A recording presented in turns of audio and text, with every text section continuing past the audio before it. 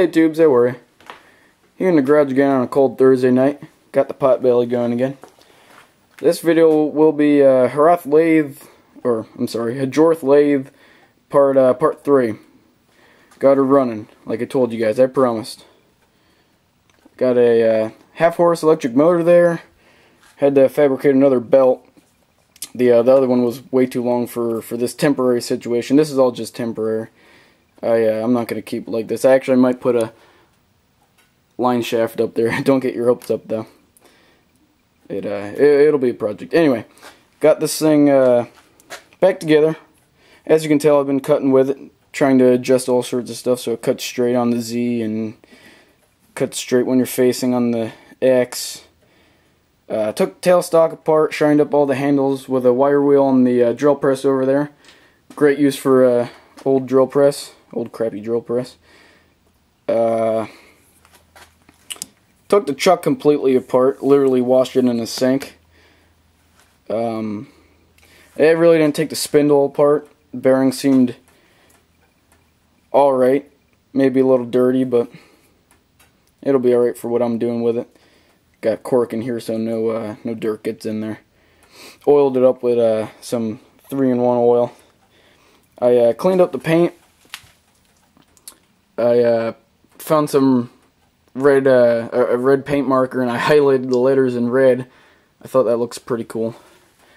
But yeah, I've been cutting with it. Made a big mess.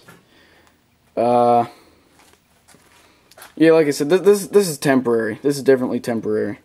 not gonna keep it like that. Anyway, thing gets a good finish. Uh, real real good finish actually, very good finish if you feed nice and slow. I don't know how fast the spindle's going, but decently fast. Uh, I got a decent high-speed steel cutter there with a chip breaker and all that good stuff. Yeah, I know you guys are wondering what the heck this is all about, probably. Uh, obviously not the right taper. This is a Morse... Ah, jeez, I forget what Mor Morse uh, taper that is. But this is a different taper. This is a some funky taper. But anyway, I'll find that works for now, actually. I'll find a tool that's supposed to be in there, or uh, take this out and uh, machine it to a Morse taper. But that that's a lot of work, and it's probably hardened too. Anyway, uh, let's uh, let's see how this thing cuts, shall we?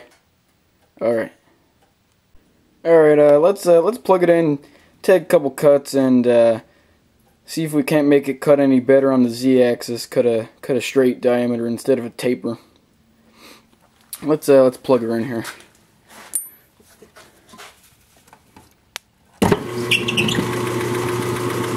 It's a torquey little electric motor, that's for sure.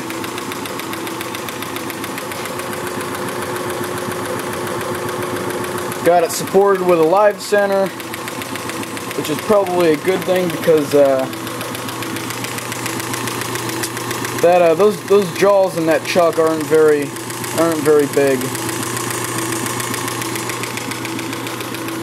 Anyway, let's uh, set you up on a tripod and take a couple passes real quick, and uh, see if we can't get it cutting better. All right, let's take a a couple thousandths.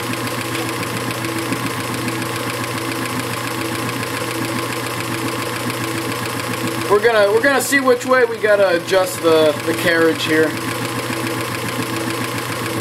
Touch off on your X. There you go, you guys probably heard that. Back off on your Z.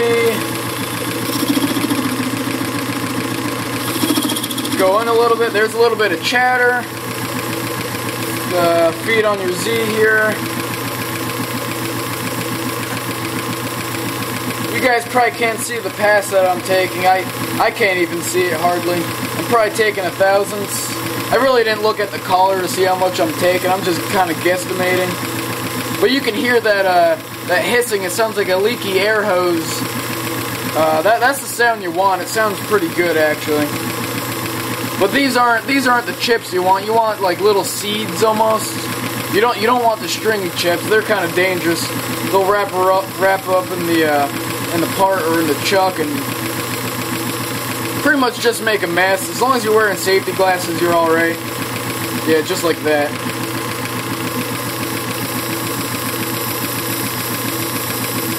At least it's aluminum, really won't hurt you going around.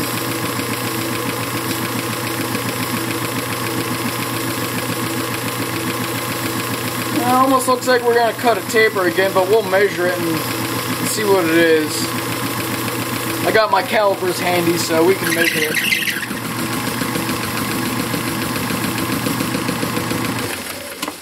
Yeah, it's a little excessive.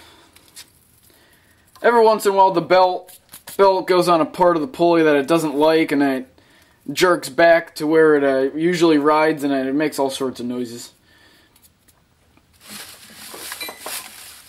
Plus, I got it uh, just botched together, so.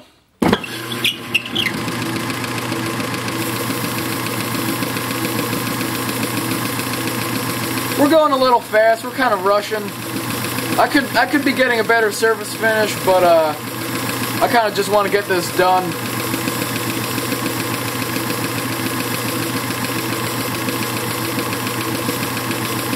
Sorry about the light. I'm, I'm gonna say that every every video. I don't have the best lighting in the garage. I'll have to get another source of light. All right, we're reaching the shoulder. Back off on your X, on your Z.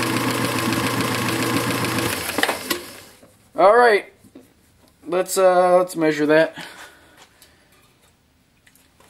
Mitutoyo calipers. All right, two point one one two two point uh, we're probably five thousandths off over this uh, short distance. That that's that's uh, not too good, especially since it's over this distance, a short distance. Over the whole part, it'd be more like Probably good 30 thousandths off from end to end. Ah, geez, now that I'm saying that, that's not too good, but uh, we'll get it. That's uh, that's good enough for this video anyway. Hey, yeah, guys, if you um, if you like our videos, uh, please comment, rate, subscribe. Uh, definitely comment. It might be a little early. Uh, we're just starting out. Thought it would be something fun to do. Uh, we we'll make more videos of engines, hit misses. That's what we're about.